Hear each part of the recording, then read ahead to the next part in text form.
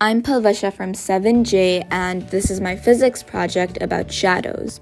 A shadow is a dark area where light is blocked out by an opaque object. There are two types of shadows umbras and penumbras. The picture on your left is a picture of an umbra.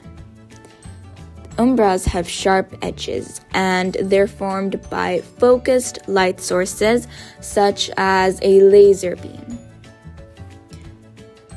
The picture on your right side is a penumbra. They have an umbra and a partial shadow known as penumbra.